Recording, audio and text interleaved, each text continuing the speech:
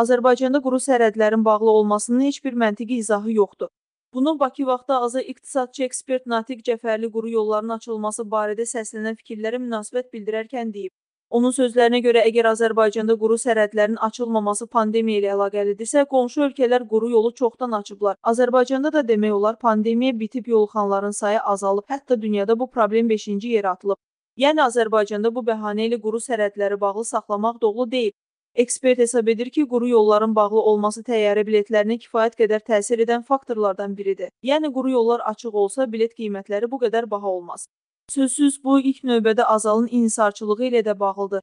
Azal digər şirkətləri rahat şəkildə ölkə bazarında işləməyə imkan versəydi, rəqabətli mühit yaranardı. Bu zaman da qiymətlərin bu qədər baha olduğunun şahidi olmazdı.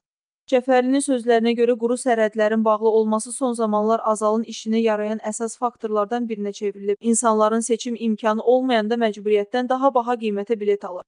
Nəticə etibarilə Azal əsasən də yay mövsümündə Gürcüstan və Türkiyə istiqamətinə çoxlu tələb olduğunu nəzərə alaraq biletlərin qiymətlərini daha da qaldırır.